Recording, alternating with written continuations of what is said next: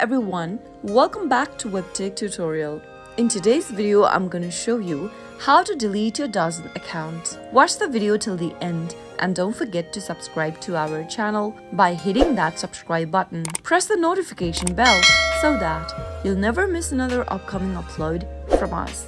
If you want to delete your DAZN account, then the first thing to do is to open up your DAZN application or you can also log into your DAZN account on a web browser. Make sure that you are logged in and once you are logged in, from the main homepage, tap on the More button at the bottom right. Tap on the Settings button from the More menu and from the Settings menu, tap on Delete Account button at the bottom. Remember that you'll first need to cancel your subscription if you've made any from DAZN in order to delete your account. To permanently delete your account, tap on delete account in the pop-up and once you cancel your subscription, enter your password for your DAZN account in order to confirm that it is you who's trying to delete the account. Now tap on delete my account button at the bottom one more time. Now, you've successfully requested to delete your account and it will take up to 30 days in order to completely delete from the DAZN account's data.